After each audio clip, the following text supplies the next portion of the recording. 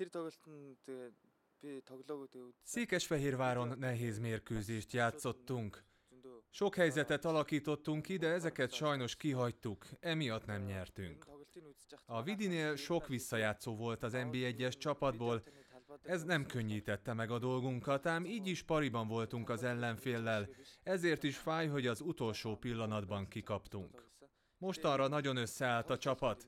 Megvan az összhang, amely hajtja előre a társaságot. Nagyon alapos felkészítést kapunk minden találkozó előtt. Az aktuális ellenfelünk erősségeit és gyengeségeit vizsgáljuk a videóelemzések során. Mind mentálisan, mind fizikálisan próbálunk ráhangolódni a következő összecsapásra, nem lesz ez másként vasárnap sem. Komáromban nagyon jól kezdtünk. Rögtön a kezünkbe vettük az irányítást, és négy gólos előnnyel vonulhattunk szünetre. Ez azonban túl magabiztossá tett bennünket, Elhittük, megvan a három pont. Ez hiba volt, mert az ellenfél visszaszorított minket, és ledolgozott a hátrányból a mérkőzés végére. Nagyon bízom benne, hogy vasárnap vissza fogunk vágni a Vidinek.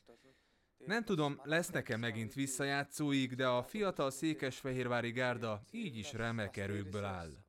Kiegyenlített összecsapásra számítok, de azt gondolom, jó formában van a csapat, és megnyerjük a mérkőzést. гал гарсан тийм гоё тоглолт болно хаа л гэж бодчих. Ер нь тэгээд өршөг авнаа л гэж бодож байгаа.